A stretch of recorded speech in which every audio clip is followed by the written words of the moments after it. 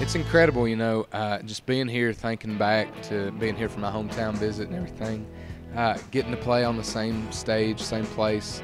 Uh, but this time, you know, it's it's not uh, for the American Idol thing. People are coming out uh, to support me, you know, apart from that, which means the world to me that people are coming out and buying tickets and everything. And it's it's really just a super humbling thing that everybody's come out to this supporting me. Oh, I you know I have countless memories at uh, at South Paulding High. Um, you know I, I participated in the talent competition every year. I remember my freshman year I got second. My sophomore year I got third. My and then my junior year I didn't place. And I was like, man, I'm getting worse. Uh, but then I won my senior year.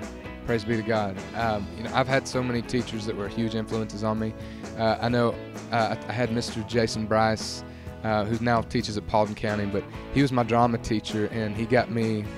Uh, he, you know, I really think he just him made me a lot more comfortable on a stage, goofing around and stuff, and kind of helped me uh, come out of my shell even more with people staring at me.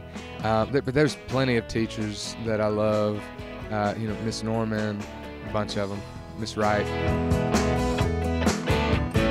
Man, Paulding it's just that's just where I'm from, man. It's, I've been here my whole life. I go to church here. It's it's uh, it's what I've always been a part of. I know uh, it's it's really crazy growing up here, and you know to it's it's weird, man. It's weird being here and and being invited to come sing for all these folks that have been my neighbors. You know, it's but it's a really humbling thing. It's been an awesome place to grow up, and it's still my home.